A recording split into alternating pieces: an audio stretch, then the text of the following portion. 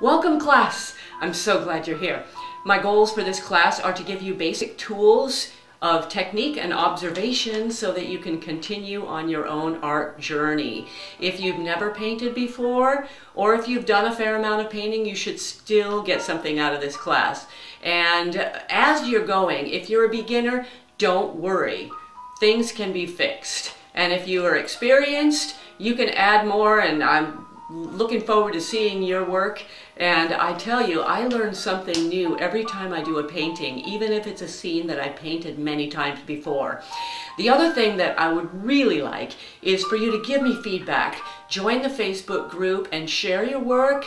Um, message me on my YouTube channel or on Instagram. And I really look forward to hearing how you're doing in the class. So please be in touch. Let's get painting.